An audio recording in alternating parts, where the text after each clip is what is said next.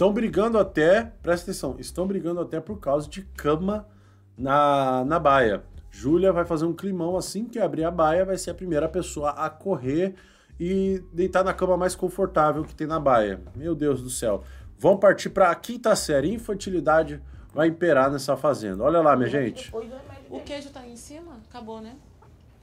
Já vi que eu tô sendo hipócrita e contraditória, porque Coisa eu coisas que eu linda. sou. Porque eu falei que eu odeio Muito prazer. mas se é pra fazer infantilidade, então a gente vai fazer. Hoje você vai lá, ser minha, Na hora esse que abrir, me pertence, eu quero eu vou saber se pegar, abrir o vou- portão, eu vou sair correndo e pegar as duas por favor. Mas é, ontem a gente brigou sério com a de cama, porque ela é podre.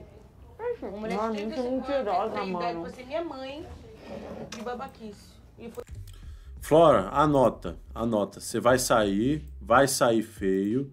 A Vanessa vai ficar e eu quero ver a cara da turminha como é que vai ser.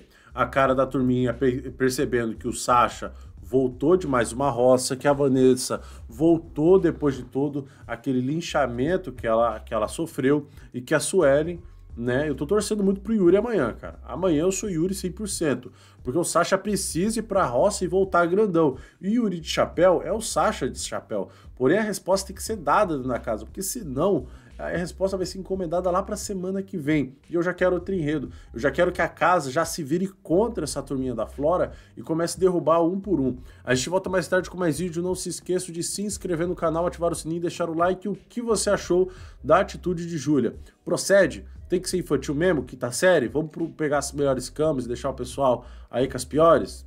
Comenta aí. É nóis.